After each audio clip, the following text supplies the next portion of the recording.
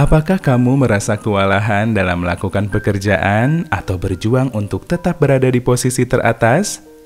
Orang-orang mengatakan bahwa saat hujan turun, perasaan sedih biasanya akan muncul. Dan perasaan itu akan membuatmu merasa sangat rapuh dan hancur. Namun, meskipun itu terjadi, hatimu perlu sembuh dan mendapatkan apa yang diinginkan. Berikut 5 tips perawatan diri saat kamu merasa hancur. 1. Pergi keluar dan mencari udara segar.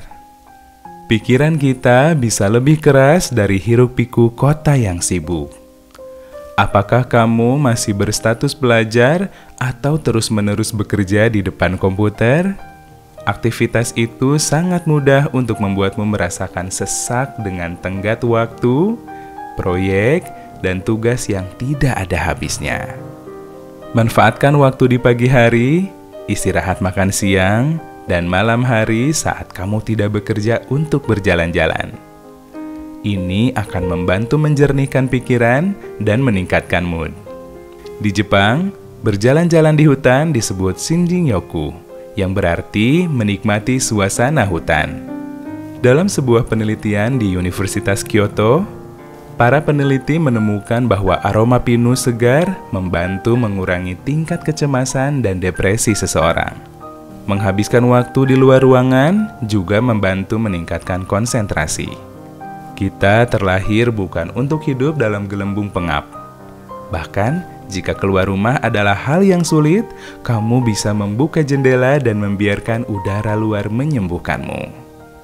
2. Tidur siang Ketika kita tidak cukup tidur, suasana hati kita bisa berubah menjadi lebih buruk dan berputar ke jurang yang tak berujung. Jika kamu merasa lebih moody karena kelelahan, luangkan waktu meskipun hanya setengah jam untuk bersantai di sofa dan memejamkan mata.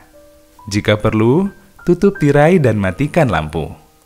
Biarkan dirimu menyegarkan diri sendiri. Setelah bangun, kamu akan merasa lebih baik dan akan mengganti waktu yang hilang dengan melakukan tugas sehari-hari dengan pikiran yang segar dan juga tajam. 3. Biarkan dirimu apa adanya. Kita semua tidaklah sempurna. Beristirahatlah dari penggunaan filter Instagram dan postingan Facebook yang hanya menunjukkan momen terbaik dalam hidup. Media sosial adalah tempat di mana kita bisa berbagi momen favorit dengan orang lain. Tetapi juga menjadi platform di mana orang merasa tertekan untuk bersaing dengan orang lain. Terkadang media sosial lebih terasa seperti kontes kecantikan daripada rumah kedua. Kamu tidak berutang kinerja pada siapa pun. Perasaan dirimu lebih berharga daripada reputasi digital. Rangkul kekuranganmu dan biarkan hidup menjadi apa adanya, sederhana, dan penuh ketulusan. 4. Bersihkan dan tata ulang ruanganmu. Membersihkan tidak berarti membuat perbedaan yang berlebihan. Mulai dari mengatur rak buku atau menempelkan foto favorit ke dinding, perubahan besar atau kecil selalu bisa meningkatkan suasana hati. Lagi pula, kamu akan menghabiskan banyak waktu di ruanganmu. Melibatkannya sedikit cinta dan perhatian tentunya bisa sangat bermanfaat. 5. Beritahu seseorang tentang apa yang telah kamu alami. Merasa sedih sering kali membuatmu menutup diri.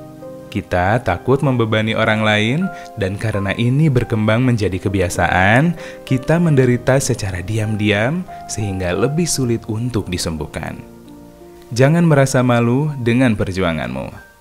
Terkadang kamu hanya butuh seseorang untuk mendengarkan ceritamu. Kamu akan terkejut dengan betapa banyak orang memahamimu. Apa yang kamu lakukan untuk merawat diri sendiri ketika merasa hancur?